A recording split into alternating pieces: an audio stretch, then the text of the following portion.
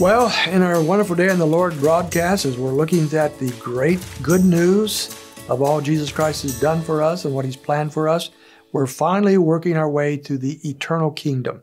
We're in Revelation chapter 20 right now, uh, 21 actually, and we're looking at what the Lord has planned for us, His people, for all eternity. The Lord has a kingdom set up for us. Chapter 20 and 21 of Revelation is the primary passage in the Bible that talks about this. And so we're going to look at a few passages as to what that looks like. What, what does God have planned for us? This is all part of the good news.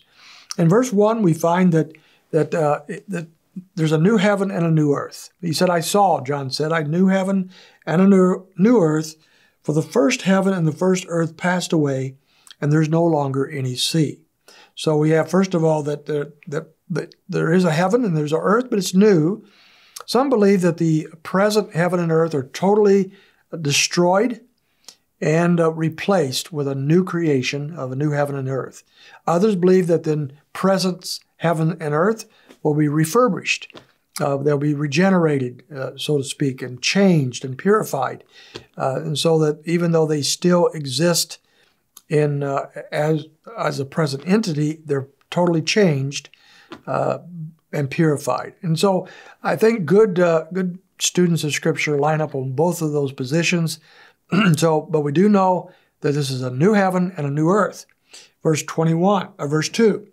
And he saw a new, a new city, New Jerusalem, coming down out of heaven from God, made ready as a bride adorned for her husband. Now we know back in John chapter 14, verse 3, the Lord promised his apostles that he was going away and he's going to prepare a place for them and so that uh, they could come and be with him. And I think this is what he's talking about. I think the New Jerusalem is that place that the Lord promised to prepare for the saints. And so you and I will get to reside uh, forever in what the Lord has prepared for us and perhaps is still preparing for us. What a glorious place that must be uh, when we think that the Lord is doing that. So, a new Jerusalem. And it's in verse 3 and I heard a loud voice uh, from the throne, saying, Behold, the tabernacle of God is among men, and he will dwell among them, and they shall be his people, and God himself will be among them. I think the primary feature here is that uh, God is going to be among men. He's going to be with us. Uh, the Lord is not going to be up there, and we're going to be down here. Uh, he's going to be with us. And so the New Jerusalem comes to the earth, the new earth. And there the Lord uh, is among us. He, he will be with us on that new uh, earth, uh, ruling us from Jerusalem, the New Jerusalem. And we will be with him forever. That's the primary feature of, be, of eternal life. Being with the Lord forever and ever is not just the, uh, the wonderful things he's preparing, as marvelous as that has to be, but also that we have the privilege of uh, being with him and he among us. So that's, that's the eternal life. Well, we can, we can move on over for a few more verses here and look at verses 5 to 7 just to get a glimpse of what life will be like with the Lord. It says, And he who sits on the throne said, Behold, I am making all things new. And he said, Write, for these things are faithful and true. So he sits on the throne and he is saying, I'm making all things new. And he said to me, It is done.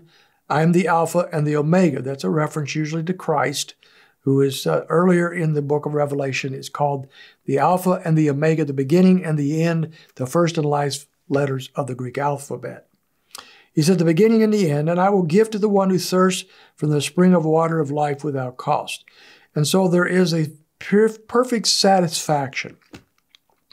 And not just physically, I think our, our physical needs will be per- perfectly satisfied, but also the spiritual needs. We, we often think of the passages in the Psalms that talks about our thirsting for, for Christ or for God. And that, that thirst for Him will be satisfied.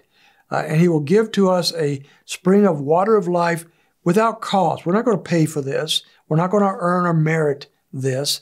This is something given to us as a gift of God. It's part of the good news, part of the gospel. And then it says in verse 7 And he who overcomes will inherit these things, and I will be his God, and he will be my son. So the overcomers here, and the overcomers are those who have placed their faith in Jesus Christ and been given his righteousness and his forgiveness. And these people will be with him forever, and he will be our God, and, and he will be, I will be his God, and he will be my son. This family relationship, this perfect relationship with God the Father, God the Son, God the Holy Spirit forever and ever. That's going to be the joy of eternity. Whatever else the Lord has planned for us, and I'm sure it's going to be absolutely marvelous. The great joy is being with Him forever and ever. What a wonderful day that will be.